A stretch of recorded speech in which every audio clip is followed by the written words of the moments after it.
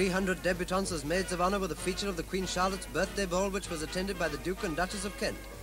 Advancing in close formation, the social lovelies looked as though they were making a charge upon Mayfair's young eligibles.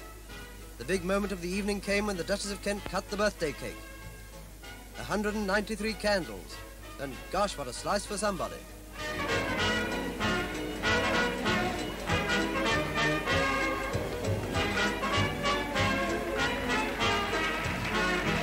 After the first cut, the hungry debutantes clamoured round the chef for a plate load.